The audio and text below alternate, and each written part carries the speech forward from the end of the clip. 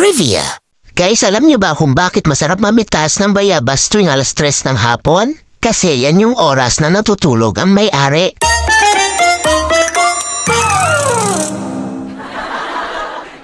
Tawa ka naman kasi joke yun. Narinig ko sinasabi ng kapitbahay namin na parang nawawala daw yung ibang bunga ng bayabas nila. Hindi ako nagsasalita kasi hindi naman niya ako tinatanong, narinig ko lang. Hindi ko naman pwedeng sabihin na si Kuya Junel ang mga kumuha. Siyempre dahil hindi naman niya ako tinatanong at ayoko na alam sa mga usapan na ibang tao. In fairness, napakatamis ng bayabas nila. Lalo na kapag walang paalam mong kinuha. Masyado naman kasi mapangakit itong mga bayabas na ito. Lagi nila akong kinakawayan kapag nakikita ko sila. Kuha ka, basta wag ka lang magpapahuli ah. Yan ang palaging sambit nila. Napakasunurin ko pa namang tao, este. Napakarupok pala. Kaya ito na nga yung naging resulta. Tandaan na hindi mo kami pwedeng gayahin ha. Dahil kami lang ang may kapitbahay na very understanding. Mabuti na nga lang yung asong bantay ng puno nila ay galing sa amin. Kaya yun, hindi tumahol. Ay kapag sinuswerte ka nga naman talaga. Tapos craving satisfied pa. Shoutout nga po pala sa may-ari dahil nakakuha kami ng walang paalam. Wala ka po kasi kaya sa puno na kami nagsabi. Until next time, salamat po!